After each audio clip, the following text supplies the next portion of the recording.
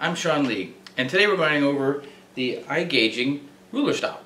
It's a simple small device like this, and uh, it's available by itself or with a ruler. Uh, we have rulers in uh, metric or imperial. Uh, this one actually has both metric and imperial on it. Uh, this one has uh, imperial on both sides, but very fine measurements on, on this side in sixteenths of an inch The device works just by simply sliding it over the end of a ruler. You set it to the desired position and then place it on the piece of wood that you want to mark. And there's several ways of doing this. One, you can put a dot at say, I'm going to look at 120 here. I'm going to put a dot and then I'm going to move the ruler, put another dot, move the ruler, put another dot. You can do it that way. Or you can set this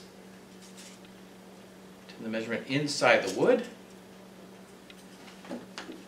and slide the ruler and your pencil along for a nice straight line.